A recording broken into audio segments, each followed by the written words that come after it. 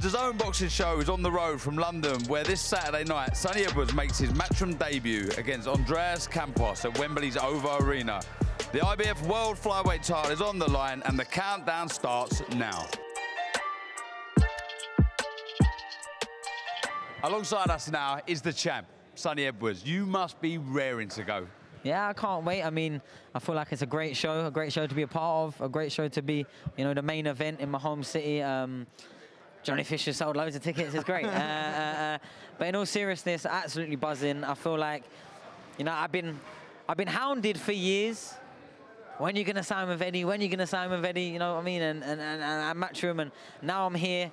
I feel like it's done at the right time. I think it's the perfect time. I feel like this is a great um, opportunity to sort of showcase my skills, showcase my ability, probably make the other champions in my division a little bit more scared than they already are to fight me. Um, but yeah, I'm buzzing to be on the zone. I've been a big fan of the zone actually since it's come because the before the bell stuff, you know, watching at four o'clock to 11 o'clock, then the next starts before the bell, like just I've sat there so many times from four o'clock in the afternoon to four o'clock in the morning, and now I'm just buzzing to be a part of that whole setup. You know what I mean? There, has been some back and forth now for what the best part of two years with Campos. He feels he deserves his shot. You feel your levels above. What can you tell us about Campos? All jokes aside, do you think he's a worthy challenger? Not particularly. I feel like there's much better fights out there. I feel like there's much better fighters out there. I feel like any fighter that's never been 12 rounds doesn't really deserve any place in a in a world title boxing ring. I think that should be one of the boxes. You know, is the box ticking expert Barry over here. I think that's one of the boxes you should have to tick before you get in with an elite fighter like me that's made elite fighters look silly. I think it's nothing but coming over for an opportunity to pay there, in my Does opinion. that put pressure, added pressure on you then? So it's not even about winning as such, it's about looking good as well now. I don't, that's all external. I think external pressure and extrinsic feedback. You know, I did A-level in a, a PE, so. Um, in all seriousness, I know it's university actually, but in, in all seriousness, that the external side of things went away a long time ago. My ego, my identity is never challenged by you know, what people say on Twitter, what people think I should do. I know I'm a great boxer. I know I'm very good at what I do. What I do, other fighters that spent their whole life fighting look at me and ask me, how, how do you move like that? I don't, I don't know how you... So I know what I bring to the ring is something special. Um, I feel like I'm going to impress. I feel like there's not really been a fight that I haven't impressed in some which way. Yeah, just because I'm not the, the biggest knockout artist or go out there looking for it. But I will genuinely challenge anyone. Show me an opponent on my record that I should have stopped that I didn't. It doesn't exist. Most fighters that everyone celebrates for the knockouts, but you definitely should have stopped him. You definitely should have stopped him. Like that they're the easy opponents. I've been matched a certain way where I've had tests, people that can go the rounds were expected to go the rounds, and because they did go the rounds, all of a sudden it's, oh, Sunny can't punch, Sunny can't do this. Come sparring, I need two, three opponents anytime I want some long rounds. There's very few people that can go actual 12 rounds to me when I'm in that mindset. But when I box and get in there, all I'm thinking about is winning. But now I've turned the corner a bit and now I like entertaining a bit more. I like showing a bit more flair. I like showing a bit more strings to the bow because I feel like yeah, sometimes the scorecards might get you know a couple points closer because I've stayed there, let them hit arms for two uh, two minutes, and someone gave a 10-9.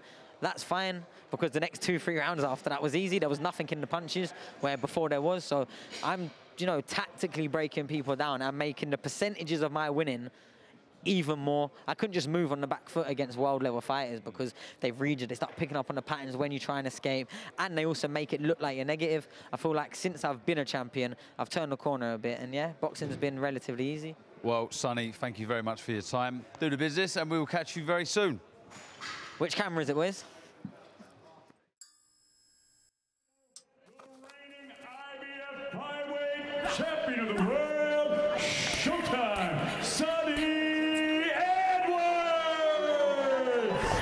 Could go down as already one of the best fighters Britain's ever had. I want the fights to, to cement my legacy. I'm never going to let someone stall my career. I believe I'm as good as anyone that's doing it right now. I'm not here to just take part, I'm here to stand out.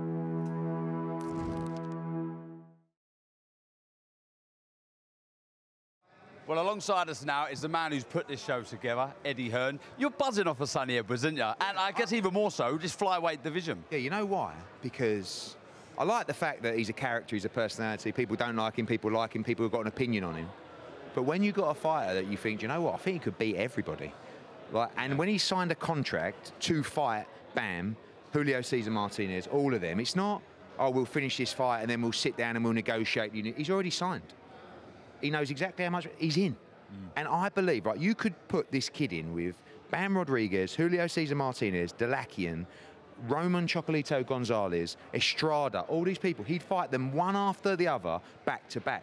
and honestly, in your heart of hearts, would you make him an underdog in any of those fights? Like, listen, we've still got to see it against the elite guys, but I just think he's style, Barry. You know, when I when I watched him against Mthalane, I was like, and I know he was older, but he was still an established still world champ. could- It was yeah. embarrassing. The it was embarrassing. Sunny's superpower. How'd you train against him? I know with a guy. How'd you train with a guy with no rhythm? Mm. Because you can't read him. Because he just he'll do something different every time he every time he makes a move or throws a punch. There's never a set pattern to his work. So how can you read him? And for, for people like Bam, who, who I'm a massive fan of, I love Bam. But how do you close the distance with a guy who you who you, who you just don't know what he's going to do Who next? do you make in a favourite in that fight? I would still say right now, I, I'm, sorry, I'm a big Sunny Edwards fan. I was, I'd have to say Bam because of his his body of work, I think. But also, you could also say, you know, that, that Cuadras and R- R- Rung were, were, weren't, at, the, weren't at, not, not at their peaks. They maybe slipped over the hill a little bit, so he's going to become a fresher Sunny. But I, it's a hard one to pick. I guess it's still that level that I mean, Bam is on another level to anything he's ever fought before. Yeah. So it's like we're all getting excited, and it's my job to sell the fight. But sometimes they step up to that level, and actually Yeah. Oh, they're, these, they're not. these- They're these not flies and super flies, and like it's they, they, they, the super, the super flies at the minute with Sunny can go up and down. They, they may be the best weights in, in world I boxing. think so. The Someone just said to me there, you know, you, you seem to be championing the smaller weights. And I said, like, genuinely, people think we do it because their purses are smaller. But honestly, when do you see a bad flyweight or super flyweight fight at championship level? Like, it's always competitive, it's always exciting, it's always fast paced, and they're prepared to fight each other all the time. It's so refreshing. Um, but I think, you know, Sunny's put pressure on himself. I mean, didn't exactly big up Campos. Do you know what I mean? I'm sitting there thinking, all right, mate, up, we've still got some tickets to sell. But at the same time, it's like, if you really think that about this kid, you've got to school him, beat him up, and then hopefully stop him. And the, the problem I have sometimes with the trainers is, and they're right, but I'm like, listen, after six rounds, you've embarrassed someone and schooled them, starts to get a little bit boring. And the trainer will say, shut up, Eddie, we're winning every round, go away. I'm saying, I'm just telling you, if you want to be a star, you've got to beat him up and try and stop him. If Sunny Edwards can school this guy for six rounds and then stop him in the back half of the fight, I like that, you know, and then we can go into, get momentum to go into a massive fight. But he'll go anywhere for the fight. Is there, is there, so, I mean, he's put pressure on himself that he has to not just win, but look good. But if he just does win the 12 rounds, it's not that eye catching. Are those big fights still there? Yeah, they, they have to happen, and they'll happen happen. next. And they might be easier to make. You know, if it's a if it's a performance where he Yeah, yeah. struggles, but that no one really. And listen, if I represented, and this is one of the reasons I signed Sunny Edwards, I don't mind saying it. If Sunny Edwards weren't with me, I wouldn't want to put Martinez or Rodriguez in with him. Of course. Do you know what I mean? The reason I'll do it is because we've got the champions. But I'll be straight up, and I don't think there's many trainers that look at the style of Sunny Edwards and go, yeah, it's got to be big enough for them to go, all right, the money's good enough, it's a unification, it's a big fight, we'll take the risk. But he has got the style that you just look at, for me, as a, like a trainer, just think, oh, like you say, you just can't train for it, you can't spar for it. You're going to get in there, you're not going to know what to expect. Yeah. People talk about, again, Campos, same kind of thing with these fighters that move well. Oh, you just got to close the distance, you've got to throw loads of punches, you've got to beat him up, you've got to push the pressure. Probably the worst thing you can do. Do you know what I mean? Yeah. Uh, the, the chief support were the other two world title fights. Brilliant fights. Johnson versus Scotney. Yeah. It's a great fight. I just can't see how that doesn't set fire straight away. If it's a brilliant fight, Nina Hughes Healy. Yeah, we said, didn't we? I mean, Ellie Scotney's got loads of skill. Probably her only weakness is sometimes she unravels during the fight by wanting to have a fight too much herself, by not staying disciplined. But it, it makes that- brilliant action. It, though, does, it? and but that's not good news against Cherneka Johnson no. because Cherneka Johnson is strong and tough. She's got a very good work rate, and you know we just said off off camera there she needs to almost do what Chantelle Cameron did, which was to force the fight as early as the first round. Mm. Do you know what I mean? If you over Yeah. 10 two minute rounds, if you let your opponent four, five, six rounds in and you've won, you're five one up or something like that, it's fight over. Do you know what I mean? So you need Ellie Scotney to come back after that first round, knowing she's been in a fight. And sometimes you can let that really comes down to for me the training team, because I think that's where Jamie Moore and Nigel Travis did such a good Yeah. job. Because you can say to a fighter, right, we want to start fast, but how easy I could imagine going, you know, just sort of next thing you've had three rounds, you're three 0 down. So the corner have to get into Cherneka and say, right, from this first belt, go at her. Because we're not, we don't see a lot of devastating punches No. in female boxing. And Ellie Scott is not really a puncher. She punches sharp and she punches accurate. But I feel like Cherneka will have the confidence to walk her down. And that's going to be a great fight. Yeah. Because Ellie Scott is always Well, for Scotty, it's important that she doesn't do enough, but she can do it. It's about when you finish punching, it's the angle off, mm. Yeah. not going back in straight lines. You go back in straight lines. Johnson, because she is so tenacious, she'll walk you down. But she is a straight, she is a straight line sort of fighter, though. Mm. She hasn't done that much variety either side of that. the, the, the style should be very good Oh, for it's, Ellie. It's gonna, yeah. You know. But the strength, as we've seen Yes. with Chantelle Cameron, some no, with Katie Taylor, theoretically on paper, someone coming right at you for Katie Taylor, that bounce back and coming back in with the combinations was, was going to be a, a, a positive for Taylor. But Chantelle Cameron never closed the distance. She she pushed you back and kept it long. And maybe that's maybe something that Johnson has to do without not not allow not allow get close enough to allow Ellie Scotney to get in close and spin her on the target. So work rate, punches thrown. You know, you saw that against Yeah. Chantelle Cameron, where I think she threw three times as many punches as Katie Taylor, and just letting your hands go for the two Willing minutes. to miss. because- and so many close rounds in women's boxing. But I, I just feel that you know Ellie's probably not going to throw anywhere near as many punches as Cherneka Johnson. Yeah. And Cherneka's work rate has got to make up for the difference in skill, which I think Yeah, does course. exist. But, but so, I got to say, talking about work rate though, Nina Hughes. Oh yeah. Oh, yeah. This, I, I, I labelled her. I, I, covered some of her early career, and I labelled her the female Carl Froch because how tough she is. Mm. Yeah. And she's not a knockout artist, but every punch she throws is solid.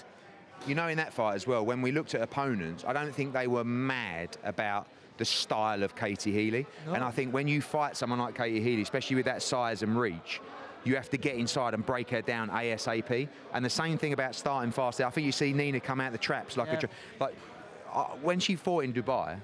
I was like, you know, Lee Eaton was going on at me. She was, she's from Essex. I know, I know with the small hall she's been boxing at.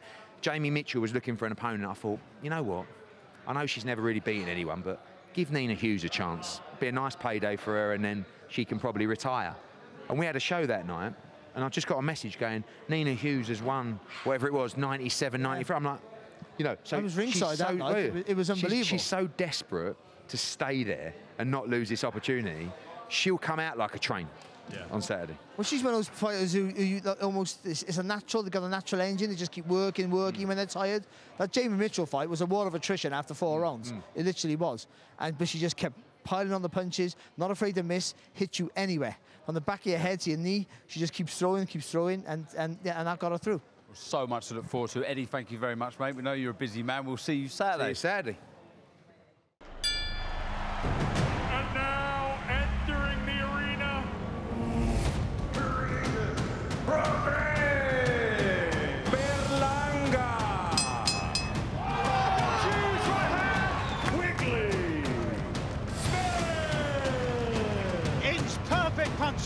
Dalton Smith. Sam Maxwell.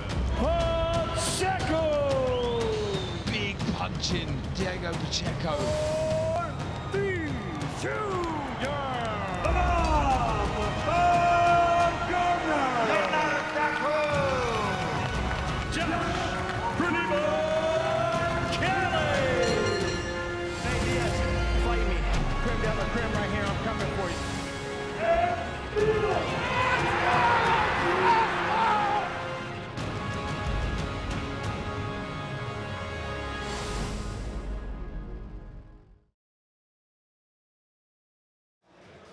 alongside us now is the Romford Bull, Johnny Fisher. Johnny, buzzing for Saturday night? As always, Darren, it's great to be talking to you boys too. Just Cheers, got a couple mate. of days now. Get ready to, to fight on Saturday. What's the preparation been like for this one, John? Very good. It's obviously been different fighting a southpaw. Um, I've had good southpaw sparring with Waddy Camacho and old head on his shoulders. A lot of experience there. Gideon, who just won the ABAs and Tri Nations. Tommy Fletcher, who can obviously punch very hard. And before that, I had Billum Smith and Chev Clark as a bit of preparatory sparring for that. So it's been good. Domestically, and the youth doesn't get much better than that really for No, preparation, of course. But what I was going to ask you is because there's a lot of pressure on you. You sell a lot of tickets. You're very popular, and no, as Eddie already said in the press conference, no, there's, there's a step up coming in, Yeah. in your next one. You're going to step at the 10 rounds at championship level. Do you feel that pressure at all? I don't feel pressure of that. I just feel um, it's the pressure that I put on myself to perform. And I go into every fight anyway thinking this is a 50-50. I never think anything else than that. Yes, there's fights where you think, yeah, I should win that one, I should win this one. But every fight I get in there, I have the same mentality. So that won't affect me. Emilio Salas, he's tall, he's a southpaw, like you say. What threats does he pose in this fight? It's different. It's, it's just uh, it's, it's a different dynamic, isn't it? Fighting a southpaw, you do notice it. It's different. The footwork's different. The jab has a different role, I believe. So I've got to be careful if I'm diving in too much. He's going to catch me with his backhand. So there's different risks at, at play, but it could play into my hands as well.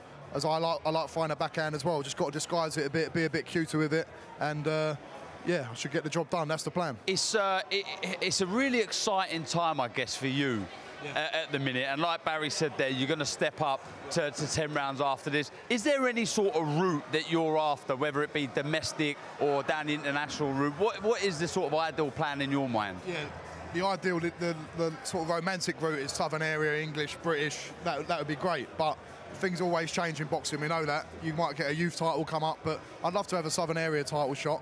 But I'm not overlooking Salas first because I can talk about making plans to fight this guy and that guy. I've got to beat this guy on Saturday first, and that's not that's not going to be an easy feat because this guy's experienced. I think he beat early on in his career, beat a Golden Gloves champion, so he's got experience under his belt, and I can't overlook him.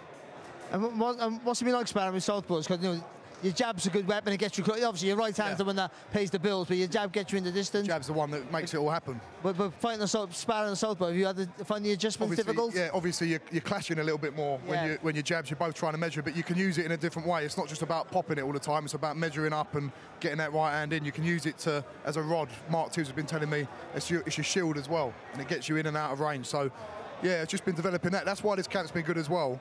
Because in my sparring as well, it's the first sort of camp where I've done 10 rounds off the bounce with two or three different guys. So whereas six months ago, a year ago, I might do six rounds, jump out, or do four with a top guy, jump out, do another four.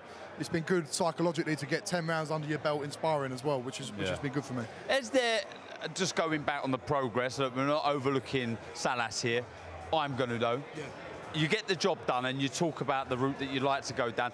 How far do you think you are? And has there been any conversations about you headlining shows? Oh yeah, there's been conversations about that. Like soon? yeah, like there's for if it was of a southern area, I think we could headline that. If it was for a southern And area, where, and where would you do that? we spoke about the for dog track, Eddie said, but I don't think that's going to be uh, that's going to be uh, uh, realistic. But the copper box or something like that would be good because it just it just tantalises people a bit more when they know there's a title on the line. Um, just gets a little bit more of the people interested as well. So that, that would be good if we could if we get a, a title fight at some point. What about the rest of the card? So, you know, Sunny Edwards defending his IBF title. Do you keep an eye out on uh, everyone else who's on the card? Yeah, and I urge my supporters to do the same because a lot of my supporters aren't from a traditional boxing background. There'll be rugby fans, or there'll be football fans from where I live and stuff. But there's some great fights on the on the bill, and Sunny Edwards is one of them fighters who's, as Eddie's been saying in the build-up to this one, one- pound for pound one of the best we've ever had. You'll see some great boxing on Saturday night as well from them guys. So come and tune in because uh, it's great to keep an eye on the other boys as well. Well, you heard it there. Tune in, Johnny. Thank you very Thank you much, very mate. much. Remember, you can catch his fight and the rest of the card live on the zone.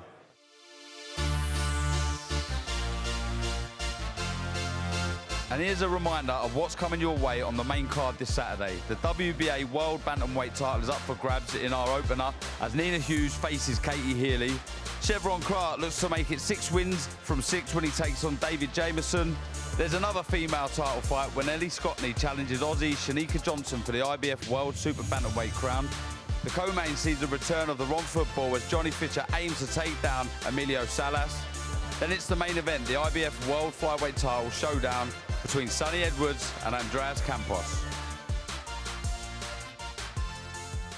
Well, I'm alongside the great, the wonderful Barry Jones. Barry, looking forward to this show. It's a cracker. I mean, we start with the main event, Sunny Edwards, uh, Andreas Campos. It, look, I know sort of Sunny's talking this down a little bit, but when you've got someone like Campos, who is unbeaten, He's got the opportunity to be Chile's first ever world champion. That brings something to the table, doesn't it? Do you, do you know what? When, when people say he's Chile's first world champion, I was, I was going through the, I was going through box. Was thinking of like, Uh, or they got to be a bantamweight from the 60s or something that won the titles, or you know, or, or a super a super lightweight from you know, from the 70s. You must have picked up a title somewhere, and I can't find one. So it's amazing feat.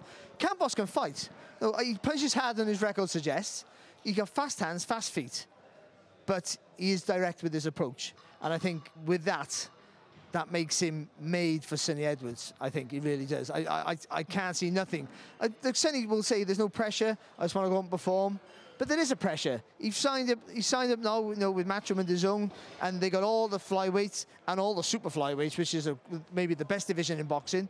He has to perform to sell himself to the wider audience, not just to say, "I can win." I can A win impressively. You haven't got to stop anybody. I think stopping, stoppages are great, but you know what you're going to get with smaller guys.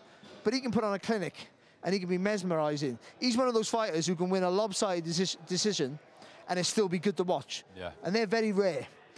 He, is that sort of maverick talent. And I guess with him as well, you, you want to look good going into these potential blockbusters.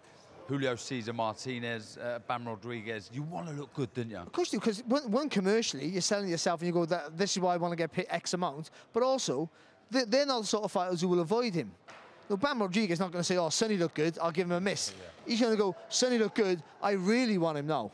I really want to prove, because everyone's talking about him. They don't, they don't want, Bam Rodriguez wants all the focus on him. Talk about me, I'm the number one. Now, if you start talking to some, some kid from, from England, he's not going to be happy with that. Mm. So he's going to, his pride alone will make that fight. So certainly looks good. Puts, and then there's, a, there's, a, there's already a, an argument who's the best in our weight division. He, he puts on a good performance, it's the last person you see, the last person in your mind, they're the one on your lips. Yeah. I mean, look, the card for me, there's some really standout fights in there. I like Ellie Scotney, Cherneka Johnson, Nina Hughes versus Katie Healy. But one for me that I guarantee this is fireworks for three, four rounds. Chev Clark, Jameson. It? I mean, that's going to deliver, surely. Do you know, it's a real. I think you know, Chev Clark had, had, had a test in his last fight, but I think this is the real test for him. Jameson's a good fighter. It's a step up for Clark. I would say that. And for Jameson, it might be a step up for him, but who knows? You know, I think against Mikael Lawal, no, he did really well until he got stopped with it. He did. But, but I think he broke his jaw in the eighth round, so no, he didn't get stopped. Stopped. You know what I mean? It's the difference. That he, he had to retire in the corner. So it's a hard fight for Chev. He's going to hit the guy. He's going to be hittable, Jameson. He's, he's not going to move. And that's going to be maybe the first time. I know, I know you didn't get the stoppage recently, Clark, but the first time he's going to hit a guy who's going to fire back with the same venom. It's a real test for him. Yeah, and a yeah. domestic scrap that you need, I think, for him to build. No, he'll get confident. If, if Clark can get the win anyway in a tough fight, another tough fight, but this one will be a real tough. I think that gives him that inner confidence to know he can dig deep over 10 rounds. Yeah, and the same night, early hours of Sunday morning, Jaime Munguia, Sergei Dever- Deverchenko, excuse me, is surely his toughest fight, would you say? I I think it, no, Munguia, no, he, he- you know, he, he was a superstar at like 21, and he sort of had a stutter step a little bit, I would say. He's looked really good, but he hadn't really had that step up that we thought he was going to have. Deverenchenko is the step up. It's a dangerous fight. I mean, as to say, you know, it wouldn't be a massive upset if Deverenchenko would get the win. I honestly, I think, you know, the Golovkin fight, he, go, he lost, but it was close. You know, the Jacobs fight was very, very controversial. You know, it's, there's an argument there that this kid, you know, uh, you know is, is really top draw. So I think for Munguia, it's a real, it's a real test for him. Uh, He's good enough, but he has to show it again now. He sort of went off the boil a little bit. Now it's his time. Now it's the opportunity for him to shine against a genuine world-class fighter. Yeah, and another one coming up, Teofimo Lopez versus Josh Taylor. What a fight that is. I mean, that, that really is a, a toss of a coin, I think. it, it almost this, two years ago. This is a super fight. Two undefeated. Two. Teofimo Lopez really was an un, undisputed champion. No, Haney had the title, but you know, really, it was Lomachenko's WBC title when he beat Lomachenko for all the other belts. So you've got two undefeated, un, unified, undisputed champions, really, would have gone into this fight. But now they both had one hasn't lost, but very controversial win against against Jack Catterall. The other one's lost his titles, of course. Teofimo Lopez moving up in weight, can punch still. I think Taylor, with his work ethic, will make Lopez work too hard. The only worry is staying at that weight, super lightweight, Yeah, yeah. with Lopez jumping in with that really good left hook. If he catches Taylor early and there are signs of, of, of problems making the weight, and, and the Catterall fight when he got dropped heavy, I thought, is not was just one just a one-off was a sign that his chin is starting to show cracks. Then Lopez might might knock him out. But I think for me, I think I think Taylor he looks back to his best. He's a grit. He's a nasty. He's Got that bit between his Oh, teeth. mate. He has. And also, he's better when he's in the fire. Like he's, he's not better. He's not a better boxer when he's in safety. He means to be in danger. That's when he thinks the best. You know, you know fighters like that. They- Me and you are different. We like to box from range. We can think better with space and time. He thinks better when he has no space and has no time. And I think this is the sort of fight that will have that. So I think for me, I think it's Taylor, maybe by a late stoppage. Yeah. Well, so much to look forward to live at the zone, but make sure you tune in Saturday night, 7 p.m. for Sunny Edwards versus Andreas Campos.